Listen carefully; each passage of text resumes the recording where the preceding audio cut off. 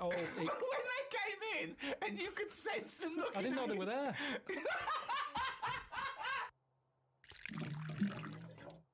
I went to what's the name, Harley Street. I went for a, a checkup, Hmm. and uh, like a medical. Posh, you know Harley Street. It's like Yeah. it's the top doctors, isn't it? I've never Yeah, been before. yeah. All posh buildings and that. Uh, went up to the counter. I said, uh, "I see the doctor." They said, "Name, yeah." Give us ten minutes. Go and wait in the waiting room. Dead posh waiting room. Dead fancy. Big leather furniture and that Yep. loads of magazines.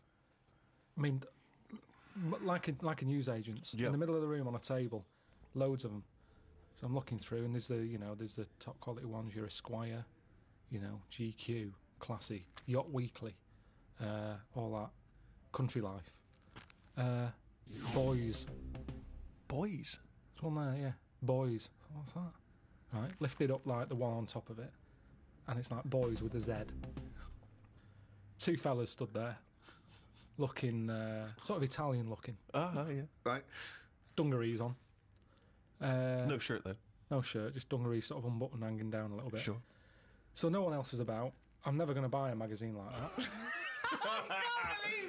You're gonna, you're gonna tell us you looked through a You gay can't have a magazine. I had I had a little little look just because I thought, you know, like I say, you, it's one You're always chance. looking to learn, aren't you? You're always looking to learn. Yeah. always open. You know, there might have been something in there that I go right. I get it now. I understand why why they like doing that or whatever. Yeah. Right.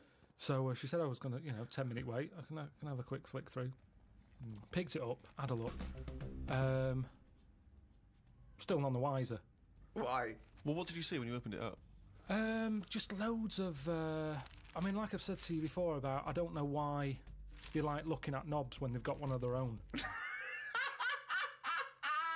Right. There's no right. surprises there. You're not going to go. Oh, yeah, that's- Sure, that's yeah. nice." Some had like car oil on the face. Uh, knob out. Yeah. There was someone sat on um, like a, a one of them square things of hay. oh yeah. Sat there, like sort of sat on it, straddling it. Yeah. that must have been Uh, uncomfortable. Again, knob out. Yeah, yeah, just looking, just looking like it's normal. That's Sort crazy. like No, no farmer walks around like that. What was the other one? There was a, you know, motorbike. They always like them. Yeah. No, I'm going through, and, and then like the content is all puns. Right. It, it, it all everything was to do with knob. Right. That's the only bit they're interested in Look in the at this- male body. Look at look at this bloke It's straddling not- this huge throbbing thing. The bike's not bad either. yeah, Yeah, all that, yeah. loads of them. Uh, it was just, uh, uh, just all, just just cock, just hundred percent. Like let's let's just talk about the knob. That's a Yeah. good name for a, um, ma- a gay magazine. 100% cock. Hundred percent cock. Did it not at any moment sort of maybe slightly unnerve you that you might, the doctor might come in and see you reading boys? No, because I wasn't. What about if I walked through? Because I remember once when you were in hospital about to have um, a tube going down your knob, and you were sitting in your pants with stockings on, and I walked through, and you were horrified. So what if I'd have walked in then and went, Yeah, I "God, would what are you have, I doing?" would have just said, "Look at this, look at this, it's free." And I, and, you, and I said, "Why did you bring that with you?" No, I would have just said, "Look, does it look like I brought it with me?" Look yeah, at this. yes, it does. Because I've never, what? So you I would at, never see, you would never see a gay magazine in a doctor's waiting room. So I think you bought that and then and pretended that it was That's there. that's the thing. That's I was amazed by that because there was no like you know there was no Mayfair or anything. They just catered for like if you wanted a bit of knob action. it was really. I mean, really, I could have complained. So if you're gonna have this, where's a bit of the other? Yeah. Uh, yeah, you had a bit of this. Where's a bit of the other? I know one of the things that, that they had, and I thought they're, they're really struggling with like ideas. They had a Sokoko. As in Sudoku. Yeah. Sakoko. Surely, Sokoko. surely Sadiko is better. No, because it was like Sokoko. Yeah, but it's Dick as well. Subdiko. Yeah. What? And it's it was still a Sudoku style puzzle, but yeah. it just had that name. Yeah. Yeah. It's just So everything. That It is was all. just Sudoku, but called Su- Coco. That's amazing.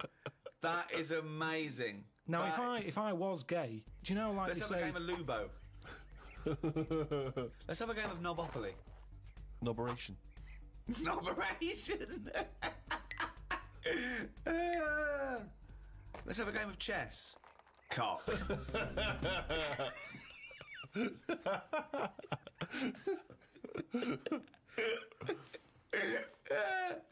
let's have a game of fuckaroo.